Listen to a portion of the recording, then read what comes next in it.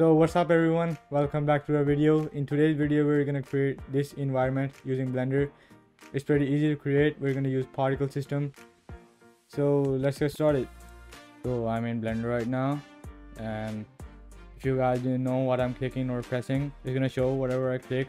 As you can see, I'm clicking spacebar. So that may help. So let's get started. So I'm gonna press A and delete everything by pressing delete. Shift a add a torus. Reduce the minor radius and kind of increase the major radius. I'm gonna increase uh i'm gonna increase the minor radius a bit. Right click and shade smooth. And i'm gonna go particle system plus click on the plus and click on here and click on advanced. Now i'm gonna give it um uh, 5000 and here length 5 or 5.1 and now i'm gonna add a force field. Shift a uh, go to force field and add wind. And now I'm gonna go to physics grab the strength and move it kind of like that. Kind of over there. As you can see a hole.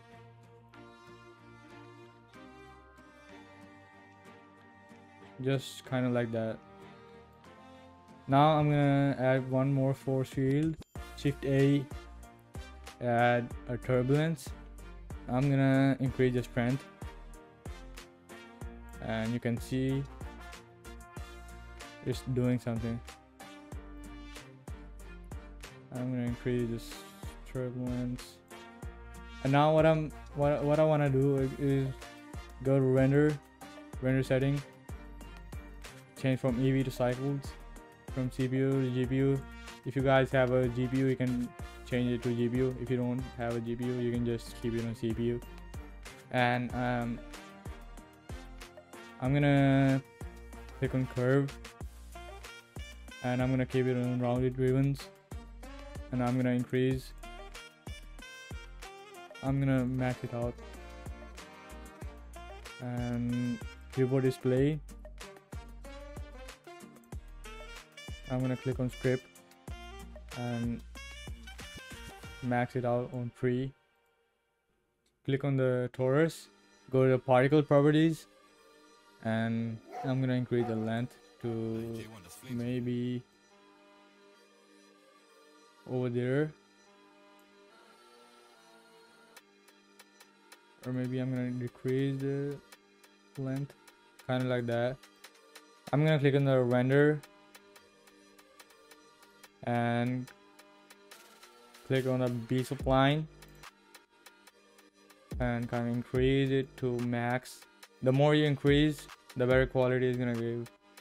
I'm gonna keep it on 9 I'm gonna click on viewport display and grab the strand steps to 7 and now click on the hair shape and kind of decrease it.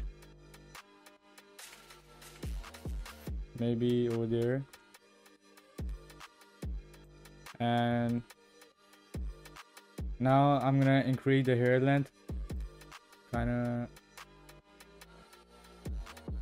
kind of over there. And now I'm gonna add a camera. I'm gonna go to bottom. Shift A add a camera. And move it just right around there. And move it forward.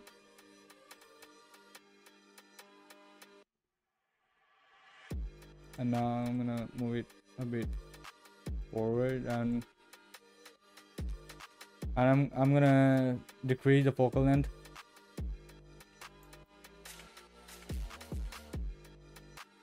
Right over there. I'm gonna save the file. And and I'm gonna go go to render preview and I'm gonna add a point light. Move it right over there. I'm gonna go to environment settings and, uh, and turn my world black. And move my point light over there. And I'm gonna increase the density to around 100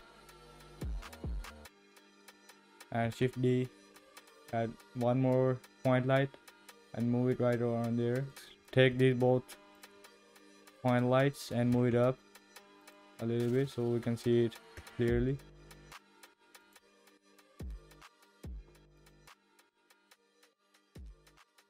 I'm gonna adjust those point lights. Now I'm gonna add a sphere add a UV sphere right click shade smooth move it up. Scale it a bit more. Move it up like that. And scale it a little more.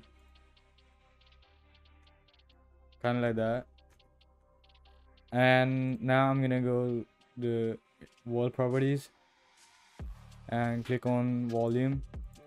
Click on click on principled volume and now I'm gonna decrease the density 0.2 now I'm gonna go to shader viewport shading. Click on the sphere. Add a new material and add a emission material. And now I'm gonna give it kind of over there I like that. And I'm gonna increase the density to 200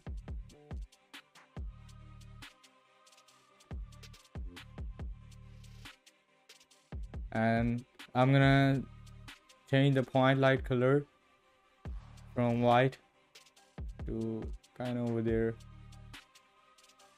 And and I'm gonna change that light to over there. I'm gonna increase the density to 300 of both. And I'm gonna click on torus add a new material and I'm gonna fill up the metallic and take down the roughness. Kind of like that and I'm gonna make it kind of dark.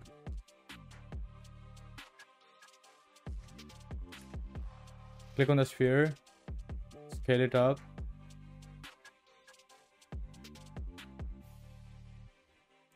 Move it up. I'm gonna increase the strength of sphere to 100 to 200 and I'm gonna click on torus and adjust some settings in particles. I'm gonna go to hair shape and on the tip I'm gonna increase a little.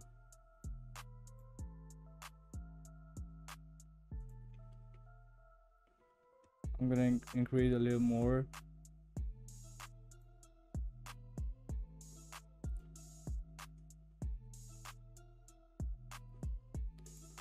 You can adjust these settings by yourself however you want. I'm gonna go to render setting and increase increase the and increase the contrast to high contrast. I'm gonna select a point light and increase the density to 1000 take the other take the other point light and increase the power to 1000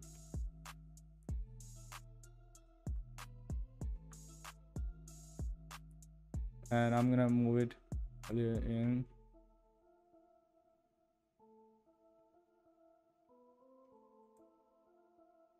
kind over there I'm gonna I'm gonna click on the torus and make it a it kind of brighter. Kind of like that. And now the project is ready to render. I'm gonna save the file. I'm gonna show you the render setting output setting and I'm gonna turn file format to JPEG increase the quality. And now I'm gonna render it. Click on render and render image. And as you can see it's pretty easy to create and we created in some minutes. And you can adjust all of these settings by yourself. You can play play you can play with it and adjust it however you want. So as you can see we just easily create the render in few minutes and you should you, you guys should try something and make something by yourself. So you guys will learn something in blender. And if you if you guys learn something from this video make sure to give a thumbs up. And make sure to subscribe to the channel. And comment down below what should i create next in the video. And i'll see you in the next video